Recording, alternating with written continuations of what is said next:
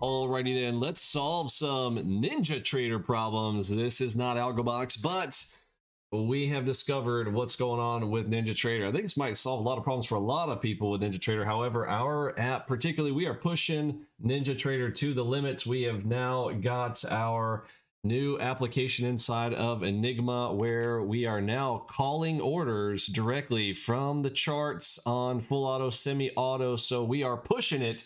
And by pushing it, we were able to discover a few things. And if you missed out on yesterday's live stream, we we're doing a lot of research. We have banged our head against the wall over and over again, and we spent quite an amount of time figuring out this one thing. We came down to affinity. The short answer is this if you are already tech savvy, all you need to do is take a NinjaTrader and set it to an affinity of eight or less. And I'm going to show you what that means. So um, if you want to know what we need to do, go into your task manager, go to the performance tab. Now mine's already set like this. If you want to kind of get a visual of this, yours probably might look like this. If you want yours to look like mine and see all of the CPUs that are available on your machine, including if you've got hyperthreading, etc., simply right click in this graph area and select change graph to logical processors. And this is going to show you all of your cores on your machine. These happen to do that. Uh, people use these interchangeably with cores, threads, available, etc. When we're talking about affinity, we want to limit how many cores an application is going to be able to use. Now, if you think this is only a NinjaTrader problem, like there are a lot of applications. Someone had brought up earlier today that MATLAB also has these types of, I don't know if I'd call them problems, but for lack of better terms, I mean, it's a negative term, but it is. It seems like a bit of a problem if you are using a high-end machine. Now, this only applies to those you guys who have an i9 or better, okay? So this is the i9 class. Uh, I do not know about AMD. Um, with AMD, you might have to do the same thing. That I don't know. All I know is for sure on these, you want to run this with the i9 Intel series. You may want to do the same thing with AMD, but I can't really verify that because we haven't tested it. But um, what we found is inside of the threads that we're running through with NinjaTrader, we got a lot going on inside of our system as it is. So we're running it to the max. But then when we make this external call out from the indicator itself into the, I call this like another execution bucket. We're actually going to be executing. That is a separate call inside of NinjaTrader. And for whatever reason, on occasion, this has a problem calling back out and then coming back in. This could be several things, including the P cores and E cores of the i9 series, but I'm just going to get right into how to fix it and solve it here today with you. So we are going to go into Ninja Trader. I've got Ninja Trader launched already. Don't be confused. There are two sections uh, in the list for where you're going to be able to find Ninja Trader. We're not going into the processes tab. That's this tab. So not this one. If you right click it, the option will not be there. We're going to go over here to the details tab. Go to details, click on that, and then find Ninja Trader in the list. I'm going to go down here. If you press in, That'll take you to the ends. You could probably find Trader executable right there. I'm going to right click it and select affinity. Uh, me, why is it not letting me zoom? Uh, let me take this all off of always on top. One second. Options always on top is deselected. Okay, I don't know why it's not letting me do that. All right, there we go. So um, right click on NinjaTrader, select set affinity, and you're gonna get a new window that pops out here.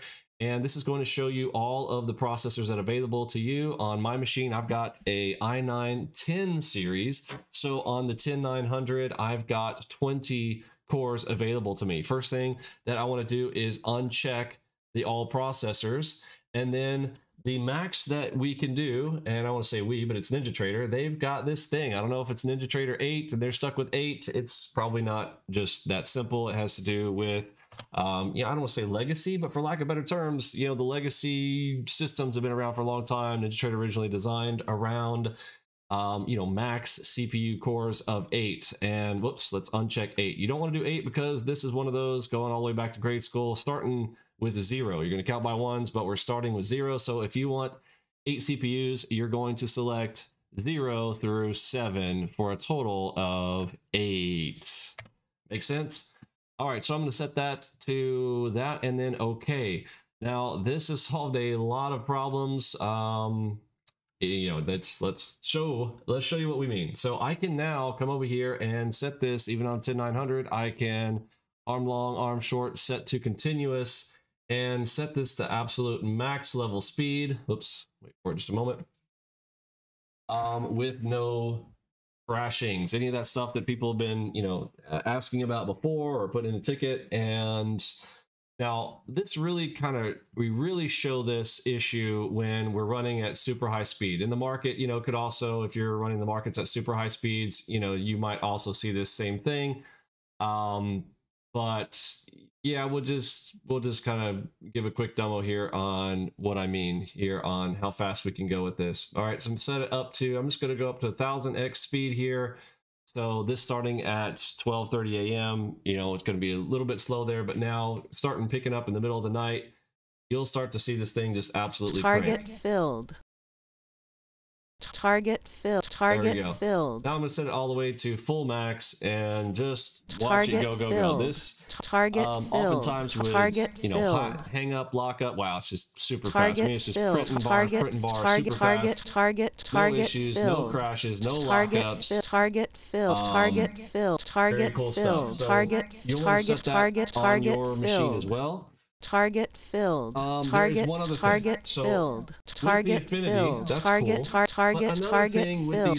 systems filled. On the target i9s, let's filled. talk about um, tar- go ahead and target pause this here for a target target filled.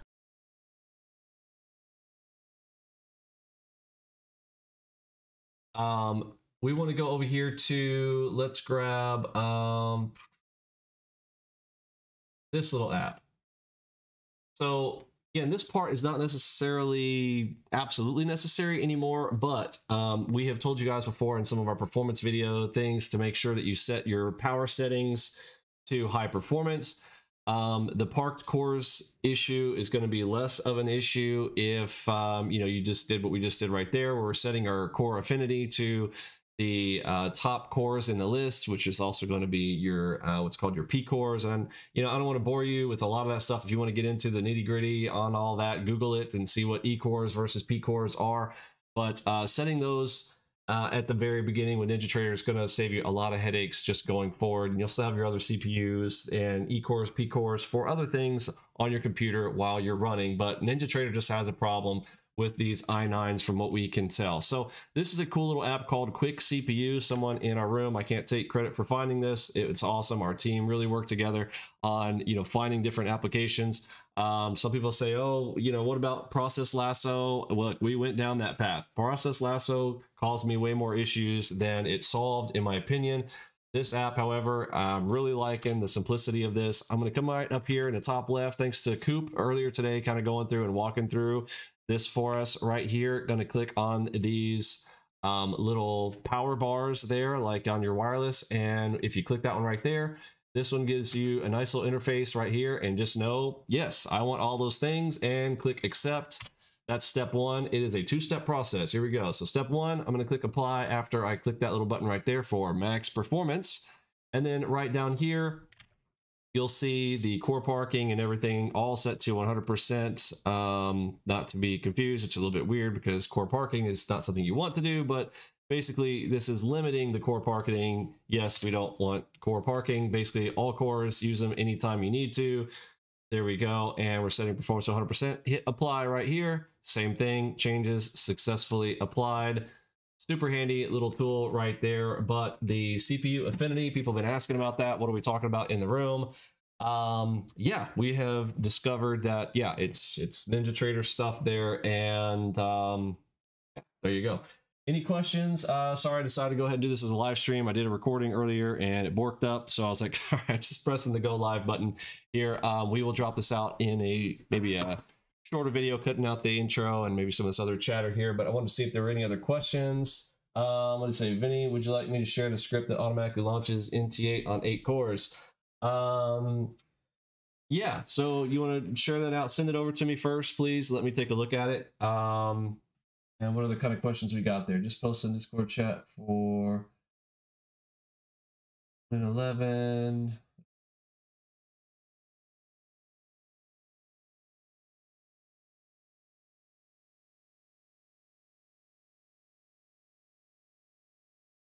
Cool. All right, so if anybody has any issues around that, pop them there in the Discord channel chat left hand side for the tickets and things. And um, yeah, happy Saturday, everybody. I will catch you guys in the next one. For me, Pippi, Robbie, Lunchbot, Mod Squad, Curtis, G, and the rest of the gang, I am sending out the big H down. Target Yeah. filled. Target filled. Target target filled. Target filled. Target target filled. Target target target filled. Target filled.